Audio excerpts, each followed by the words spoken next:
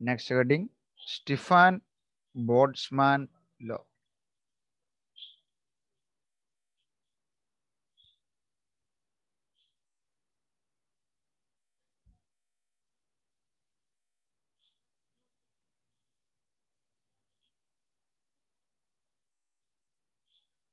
അതായത് ഒരു perfect black body ആയിരിക്കണം. ഓക്കെ ഒരു പെർഫെക്റ്റ് ബ്ലാക്ക് ബോഡി എന്ന് പറഞ്ഞാൽ അതിന്റെ അർത്ഥം എന്നാ? പെർഫെക്റ്റ് ബ്ലാക്ക് ബോഡി എന്ന് പറഞ്ഞ അർത്ഥം എന്നാ? അതിലേക്ക് വരുന്ന എല്ലാ എനർജീനെയും അല്ലെ റേഡിയേഷനെയും അത് തിരിച്ച് എമിറ്റ് ചെയ്യും. Or it is similar to a perfect radiator that means it emitted all the radiations falling on it. അതാണ് ഒരു പെർഫെക്റ്റ്ലി ബ്ലാക്ക് ബോഡി എന്ന് പറയാം. ഒരു പെർഫെക്റ്റ്ലി ബ്ലാക്ക് ബോഡിയിൽ ഏത് റേഡിയേഷൻ വീണാലും അതത് മുഴുവൻ എമിറ്റ് ചെയ്യും. ആൻഡ് അങ്ങനെ എമിറ്റ് ചെയ്യുന്നതിന്റെ ഫലം ഫലമായിട്ട് എമിറ്റ് ചെയ്യുന്നത് ഹീറ്റ് എനർജിയുടെ ടൈമിലാണ് so the energy emitted energy emitted per unit time if that is represented by capital H, then Stefan Boltzmann law state that H is directly proportional to area and uh, fourth power of the temperature. Then H is equal to a constant into A T raised to 4 or H is equal to sigma A T raised to 4. ഇതാണ് Stefan Boltzmann law where sigma is a called Stefan Boltzmann's constant. That value is equal to 5.68 into 10 raised to minus 8 watt per meter square per Kelvin raised to 4 or watt meter raised to minus 2 Kelvin raised to minus 4. So, എന്നാ പറഞ്ഞത്?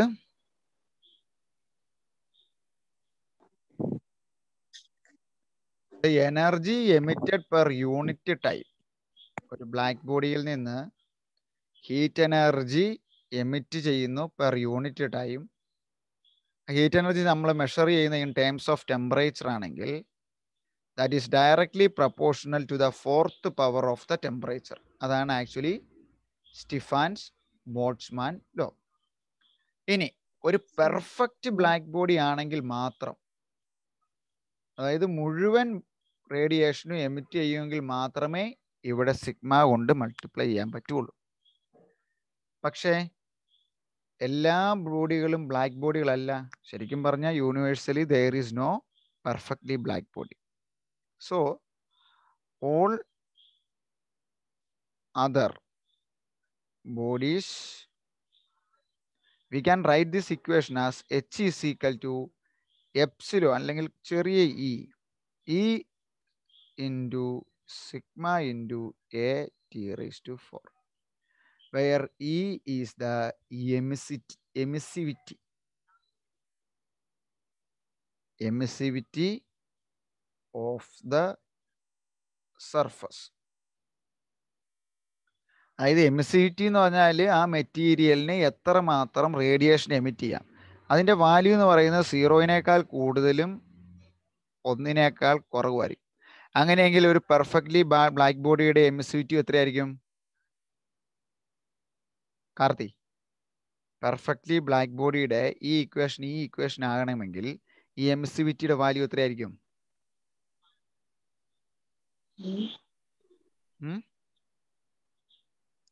ഒരു perfect black body ആണെങ്കിൽ ആ. എം എസ് വിറ്റിയുടെ value one ആയിരിക്കും. അപ്പൊ നമുക്ക് എച്ചിന്റെ വാല്യൂ തിരിച്ചു കിട്ടിയാലേ? H is equal to sigma A T raise to four so E is equal to one for a perfectly black body ഇനി ഒരു കാര്യം ഇവിടെ ഇതിനകത്ത് പറയുന്നുണ്ട്. The rate of loss of radiant energy. The rate of loss of radiant energy. ഇപ്പൊ നമ്മൾ പറഞ്ഞു ഇവിടെ ടി ആണല്ലേ ഈ ടി ഒരു ബ്ലാക്ക് ബോഡി ഉണ്ട് ഈ ബ്ലാക്ക് ബോഡിയിൽ നിന്ന് ഈ ടി എന്ന് പറഞ്ഞ ടെമ്പറേച്ചർ പുറത്തു പോയി കഴിഞ്ഞാൽ അത് ആർക്കാ കിട്ടുന്നത് സറൗണ്ടിങ്സിന് കിട്ടും അല്ലേ? നമ്മൾ സിസ്റ്റം. സറൗണ്ടിങ് എന്നൊക്കെ പറയില്ല? അപ്പൊ ടി എസ് എന്ന് എഴുതാം. Therefore H is equal to emissivity into sigma into A into tick പകരം എങ്ങനെയാവും? T minus T S all raised to അല്ലെങ്കിൽ T raised to four minus T S raised to four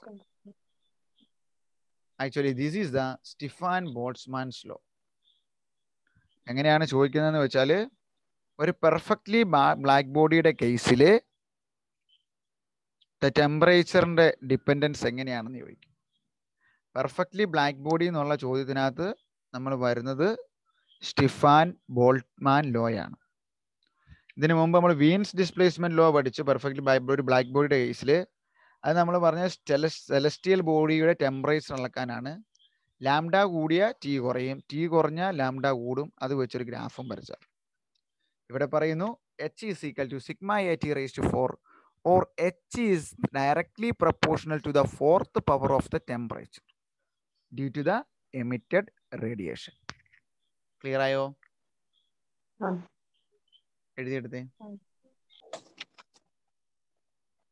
Newton's law of cooling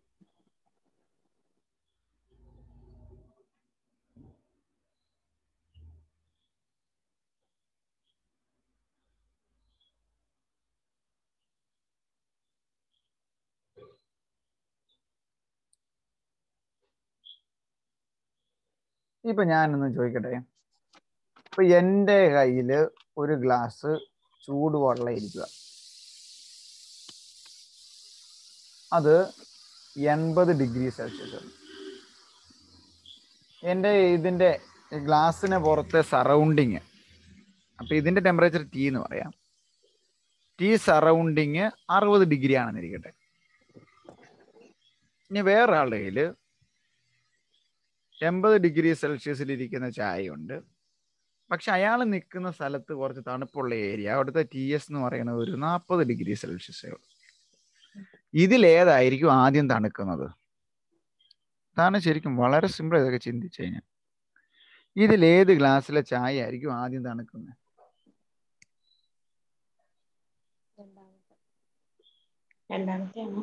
രണ്ടാമത്തെ അല്ലേ? സറൗണ്ടിങ്ങിലെ temperature എത്രയാ? നാൽപ്പതേ ഉള്ളൂ.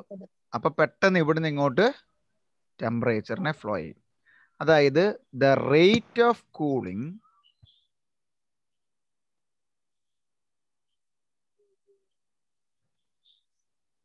of a body the rate of cooling of a body is directly proportional to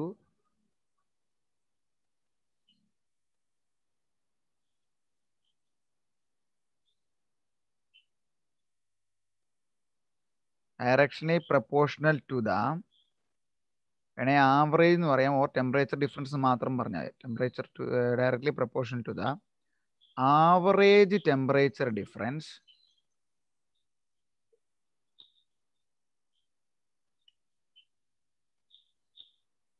between ആരൊക്കെയാണ്? Between the body and surrounding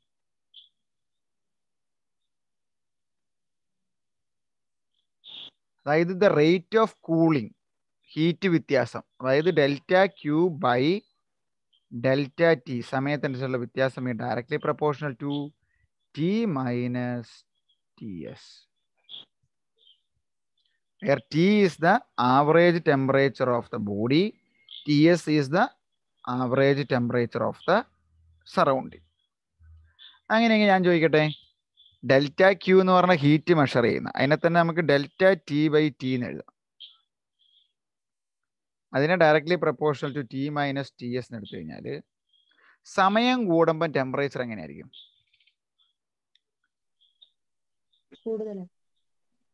അങ്ങനെയല്ലോ ഇതിവിടെ കൂടുതൽ നേരം വെച്ച ടെമ്പറേച്ചർ കുറവായിരിക്കും അല്ലേ? എൺപത് ഡിഗ്രി സെൽഷ്യസ് ഉള്ളത്. നാൽപ്പത് ഡിഗ്രി ഉള്ള സ്ഥലത്ത് രണ്ട് മിനിറ്റ് പിടിച്ചാലാണോ? മൂന്ന് മിനിറ്റ് പിടിച്ചാലാണോ? നാല് മിനിറ്റ് പിടിച്ചാലാണോ ടെമ്പറേച്ചർ കുറയുന്നത് അല്ലേ? കുറഞ്ഞ ടെമ്പറേച്ചർ ഉള്ള സ്ഥലത്ത് കൂടിയ ടെമ്പറേച്ചർ ഉള്ള സാധനം കുറെ നേരം വെച്ചാൽ അതനുസരിച്ച് കുറഞ്ഞുകൊണ്ടിരിക്കും. നമ്മൾ ആദ്യം ഒരു ഐസ്ക്രീം ഉള്ള ഒരു പാത്രം മേടിച്ച ഫ്രിഡ്ജ് ചെറിയ ടെമ്പറേച്ചർ വെച്ച് ചെയ്യുമ്പോൾ അത് ഇച്ചിരി തണുക്കും. കുറച്ച് കഴിയുമ്പോൾ കുറച്ചുകൂടെ ആകും. ഫ്രീസറിലായിരിക്കുന്നെങ്കിൽ ഒരു അഞ്ച് പത്ത് മിനിറ്റ് കഴിയുമ്പോൾ അത് തണുക്കും. So the variation in temperature with respect to time that is exponentially decreases graph പഠിച്ചിട്ടുണ്ടോ? ഏതെങ്കിലും ഒരു ടെമ്പറേച്ചർ ഉണ്ട്. ആ ബോഡിയുടെ ടി ആയിരുന്നു എന്നിരിക്കട്ടെ അവിടെ നിന്ന് സമയം ടി അല്ലെങ്കിൽ ഇവിടെ രണ്ട് സമയത്ത് വ്യത്യാസം ഡെൽറ്റ ടി ഈ ആക്സിസിൽ കൂടി കഴിയുമ്പം ആ ബോഡിയുടെ ടെമ്പറേച്ചർ കുറയും. ഇതാണ് ന്യൂട്ടൺസ് ലോ ഓഫ് കൂളിംഗ് സമയം കൂടുന്നതനുസരിച്ച് ടെമ്പറേച്ചർ കുറയും അല്ലെങ്കിൽ കൂടിങ് കൂളിംഗ് നടക്കും. Or delta Q by delta T depend ചെയ്യുന്നത് അതിന് ചുറ്റുമുള്ള സറൗണ്ടിങ്ങിനാണ് സറൗണ്ടിലെ ടെമ്പറേച്ചർ കുറഞ്ഞാൽ പെട്ടെന്ന് കൂളിംഗ് എടുക്കും. അങ്ങനെയൊക്കെ എക്സ് ചോദ്യം പറഞ്ഞു ഒരാൾ ഇന്നടുത്ത് നിൽക്കുന്നു ഒരാൾ തണുത്ത് നിൽക്കുന്നു. എന്തുകൊണ്ടാണ് സംഭവിക്കുന്നത്? അപ്പം അതിന് ലോ ആയിട്ട് എഴുതണം. It is due to the Newton's law of cooling the rate of cooling of a body is directly proportional to the the temperature difference between the body and surrounding clear ആണോ കാർത്തി? സംശയം വല്ലതും ഉണ്ടോ? ഇല്ല. നല്ല എളുപ്പമാണ് മൂന്നും അങ്ങനെ പഠിച്ചാൽ മതി. ഇനി പരീക്ഷയ്ക്ക് ചോദിച്ച ചോദിക്കുന്ന മൂന്ന് ചോദ്യങ്ങളാണ്.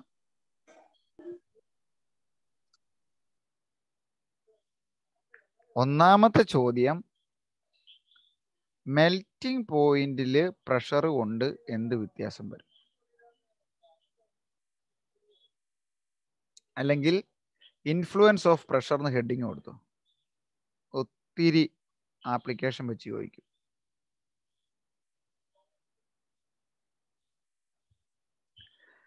മെൽറ്റിംഗ് പോയിന്റ് എന്ന് പറഞ്ഞാൽ എന്നാ? ഉരുകുക അല്ലേ? ടെമ്പറേച്ചർ മാറിയല്ല എന്നാന്ന് ചോദിച്ചാൽ അവിടെ ലേറ്റന്റ് ഹീറ്റാ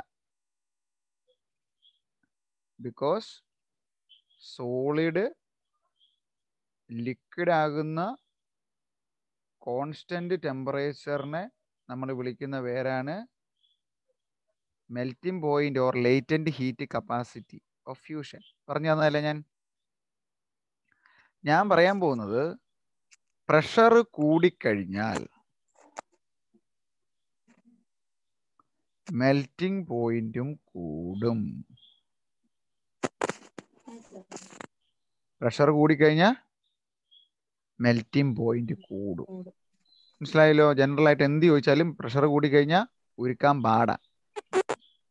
അപ്പൊ പക്ഷേ ഐസിന്റെ കേസിൽ മാത്രം അങ്ങനെയല്ല. ഐസ് കട്ട ഒരു എക്സെപ്ഷണൽ കേസാ അതിന് ഒരു ഉദാഹരണമാണ് സ്കേറ്റിംഗ് അത് വെച്ചാ പരീക്ഷയ്ക്ക് ചോദ്യം അതാ ഞാൻ ഇപ്പൊ ഡിസ്കസ് ചെയ്യാൻ കാരണം.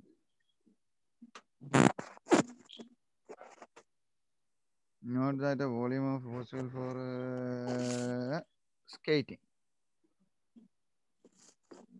സ്കേറ്റിങ്ങിന്റെ സമയത്ത് എന്നാ ചെയ്യണേ? ഇപ്പൊ ഇതിപ്പോ നമ്മുടെ മഞ്ഞുമലയാണ്. ഇതേലൂടെ ആ സ്കേറ്റ് ചെയ്യുന്ന സാധനം കൊണ്ട് ഒരാൾ അതിന്റെ മുകളിൽ കയറി തെന്നി വരുമ്പലോ പ്രഷർ കൂടുമ്പോ എന്നാ പറ്റിയേ? ഇവിടെ ഉരുകും. അതുകൊണ്ടാണ് ഇങ്ങോട്ട് തെന്നി തെന്നി പോരാൻ പറ്റണം so ice is an exceptional case in which when pressure is increases melting point decreases.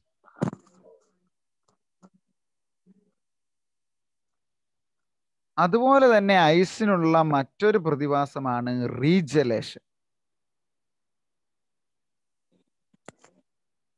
Regelation of ice. ഇതും ചോദിക്കുന്ന പരീക്ഷ നമ്മളൊരു കത്തി കൊണ്ട് ഒരു ഐസ് ഇങ്ങനെ പതുക്കെ കട്ട് ചെയ്ത് കട്ട് ചെയ്ത് ഒരു ബ്ലോക്ക് കട്ടി കട്ട് ചെയ്ത് താഴെ കൊണ്ടുചെല്ലുകയാണെങ്കിൽ താഴെ ചെന്ന് വെച്ച് പിന്നെ നോക്കുമ്പോൾ മോൾ ഒട്ടിപ്പിടിച്ചായിട്ട് തോന്നും അല്ല ഈ സ്കേറ്റിംഗ് കൊണ്ട് ഇത് പോകുമ്പോൾ ഇത് ഉരുകും.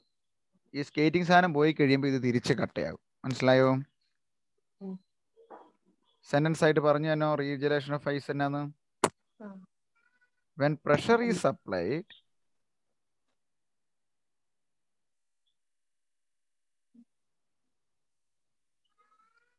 on a block of ice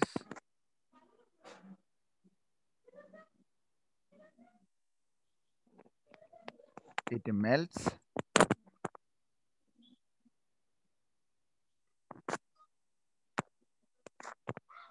Comma. When the pressure is removed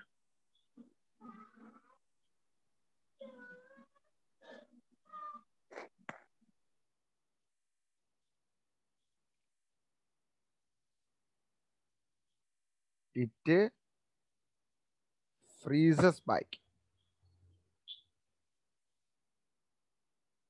this phenomena is called regelation.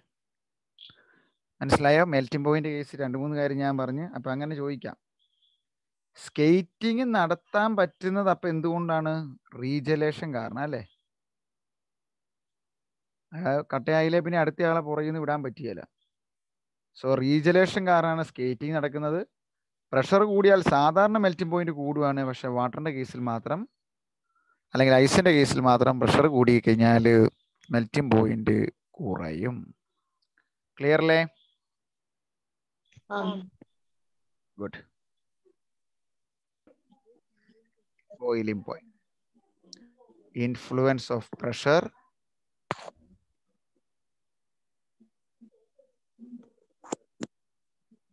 In boiling point.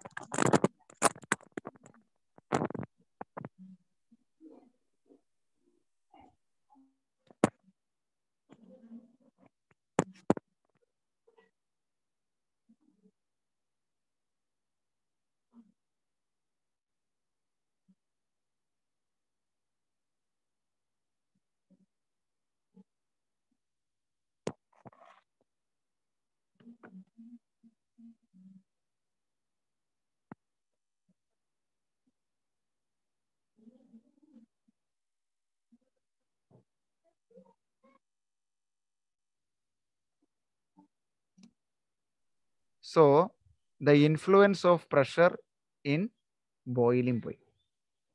ഞാനിത് നിങ്ങൾക്ക് രണ്ട് മൂന്ന് കാര്യത്തിൽ പറഞ്ഞതാണ് നമ്മളിങ്ങനെ ഇങ്ങനെ ഒക്കെ കാര്യം പണ്ട് പറഞ്ഞപ്പോൾ താഴെ വെച്ച് വെള്ളം തിളപ്പിക്കാനാണോ എളുപ്പം? മുകളിൽ വെച്ച് വെള്ളം തിളപ്പിക്കാനാണോ എളുപ്പം? കാർത്തി. ഇപ്പൊ നമ്മൾ ഒരു പാത്രം വെള്ളം എടുത്താൽ താഴെ വെച്ച് താഴെ വെച്ച് വെള്ളം തിളപ്പിക്കാനാണ് എളുപ്പം. മുകളിൽ വെച്ച് വെള്ളം തിളപ്പിക്കാനാണ് എളുപ്പം. മോളിലാണോ മുകളിലാണോ? എന്നല്ല മുകളിലാണ്. കാരണം എന്നാണ്? Pressure pressure?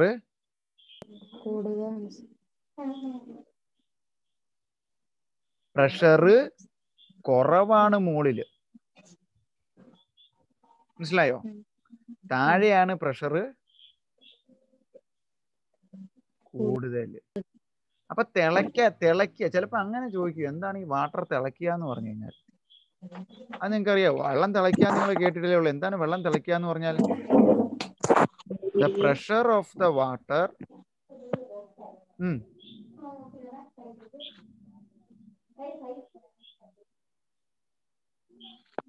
എപ്പോഴാണോ the pressure of the water equal to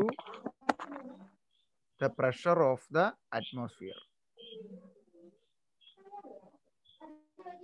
അപ്പൊ ഇവിടെ പ്രഷർ അറ്റ്മോസ്ഫിയറിൽ കുറവായതുകൊണ്ട് ഇത് പെട്ടെന്ന് തിളയ്ക്കും. മനസ്സിലായോ? ഇനി മുകളിലാണോ താഴെയാണോ പെട്ടെന്ന് വേകുന്നത്?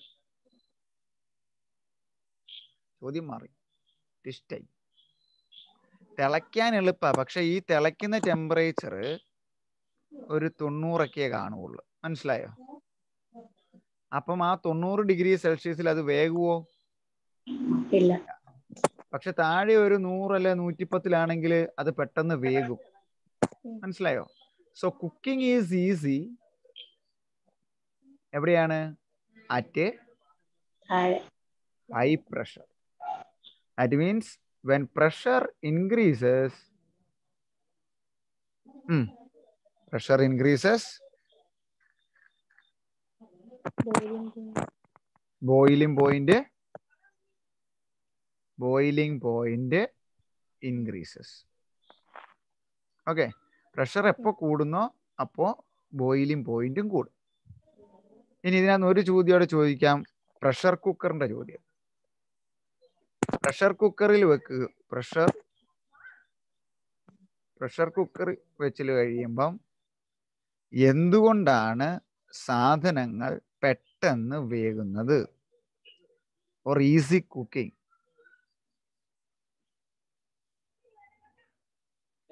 easy cooking is possible in a pressure cooker. കാരണം എന്നാണ്? ആ പ്രഷർ കുക്കറിനകത്ത് ഔട്ട്ലെറ്റ് ഇല്ലാതെ പ്രഷർ കൂടുതലാണ്. പ്രഷർ കൂടുതലാകുമ്പോൾ എന്നാ പറ്റും? ബോയിലിംഗ് പോയിന്റും കൂടും. ആ ബോയിലിംഗ് പോയിന്റ് മതി. അത് ചിലപ്പോൾ നൂറ്റി നാൽപ്പതോ നൂറ്റി അറുപതോ നൂറ്റി എൺപതോ ഒക്കെ ആയിരിക്കും. ആ ബോയിലിംഗ് പോയിന്റ് തന്നെ എന്നാ പറ്റും? നമ്മളുടെ സാധനത്തിന് നമുക്ക് കുക്ക് ചെയ്തെടുക്കാനും പറ്റും. മനസ്സിലായോ? മൂന്ന് ചോദ്യം വരാം. മലയുടെ മോൾ സമുദ്രനിരപ്പിൽ നിന്നുള്ള ഉയരം കൂടുന്നു ഉയരം കുറയുന്നു. തിളയ്ക്കുന്നത് തിളയ്ക്കാത്തത് വേകുന്നത് വേകാത്തത് പ്രഷർ കുക്കർ ഒന്ന് രണ്ട് മൂന്ന് നാല് അഞ്ച് ചോദ്യമുണ്ട്. ഡിപ്പെൻഡ് അപ്പോൺ പ്രഷർ ബോയിലിംഗ് പോയിന്റിൽ തന്നെ. എഴുതിയെടുത്തേ.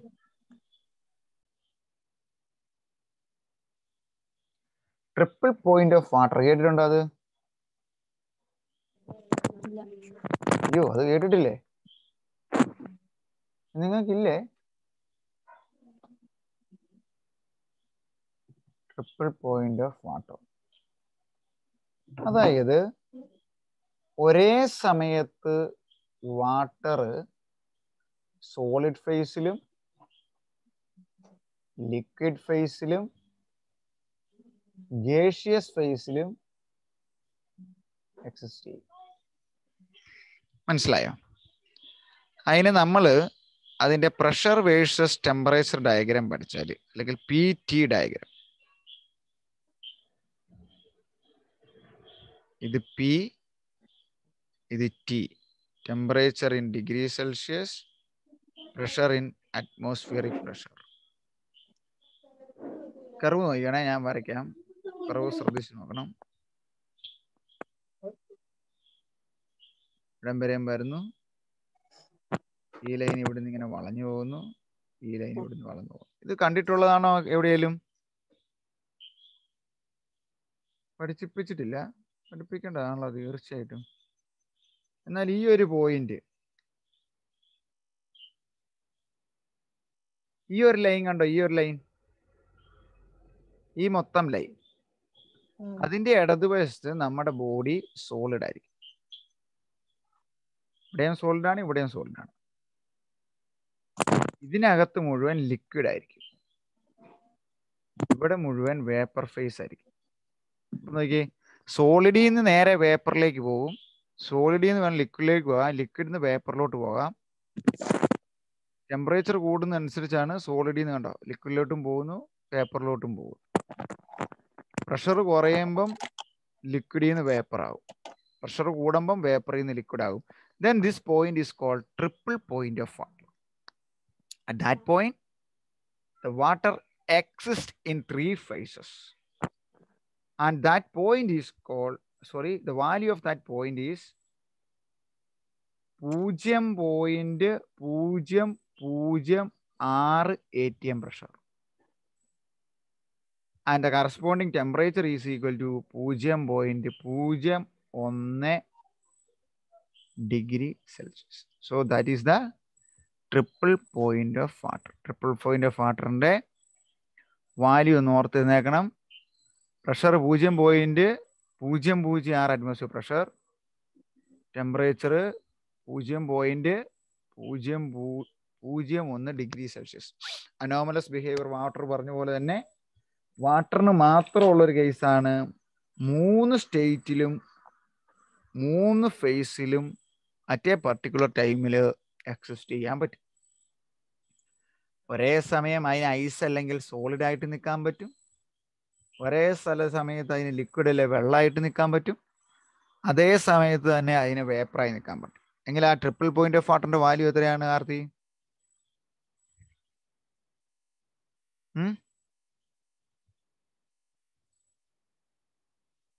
hello triple point of water എത്രയാ?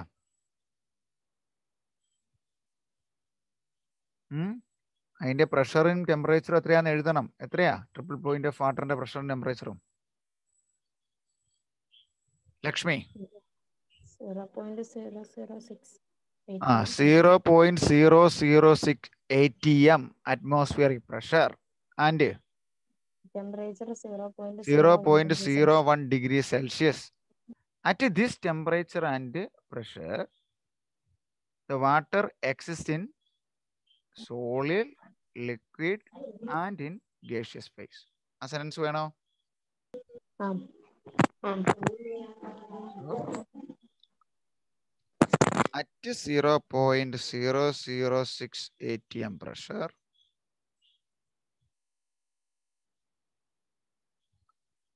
and at 0.01 degree Celsius, the water exists in its three phases. liquid, solid, liquid, gas. And this point is called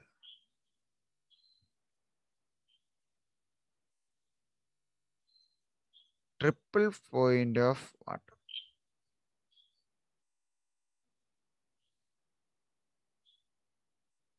പോരെ മനസ്സിലായോ? ആ ആ. എന്നാ അതോടെ എഴുതി എടുത്തിട്ട് നിർത്തിക്കോ. Our chapter is over next chapter thermodynamics അടുത്ത ക്ലാസ്സിൽ തുടങ്ങും. എഴുതി കഴിയുമ്പോൾ പറയണം കേട്ടോ ഞാൻ ഇവിടെ വെയിറ്റ് ചെയ്യുന്നുണ്ട്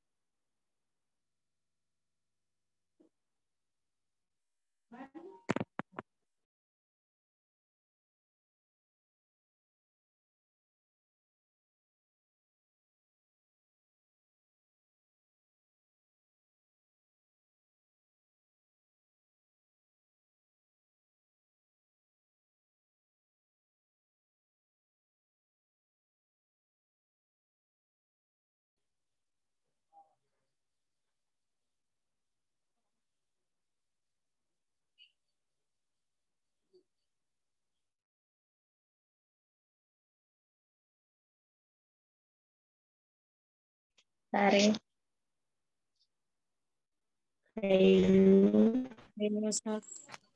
ആ എഴുതിയാ.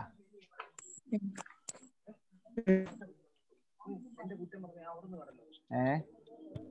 ഞാനിത് ചെയ്തോട്ടെ ക്ലിയർ ചെയ്തോട്ടെ? ശരി ശരി. Okay.